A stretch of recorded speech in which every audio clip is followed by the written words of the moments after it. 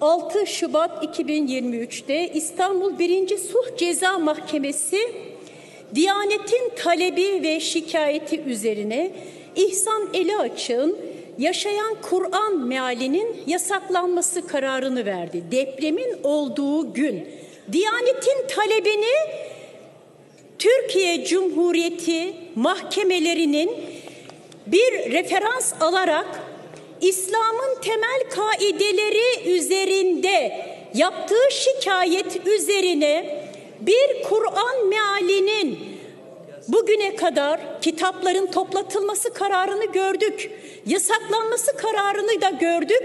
Ama bugün geldiğimiz AKP pratiğinde Kur'an mealinin bir de üstüne toplatılma, yasaklanma ve imha kararı. Ben bunu soru önergesiyle de sordum zaten. Neyle imha edeceksiniz? Yakarak mı? Makineden kırparak mı? Kur'an sayfalarını, meallerini neyle imha etmeyi planlıyorsunuz?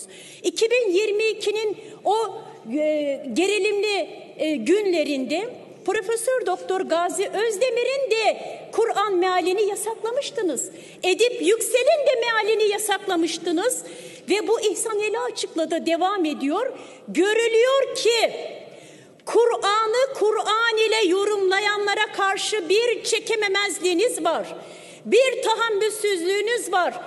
Din, Diyanetin din işleri yüksek kurulu hangi cemaatlerin, hangi yapıların kontrolüne geçti? Türkiye Cumhuriyeti'nin hangi mahkemesi İslam'ın temel niteliklerinin kriterlerini, ilkelerini tahlil etme, analiz etme, tartışma, yorum yapma hakkına ve ehliyetine sahiptir.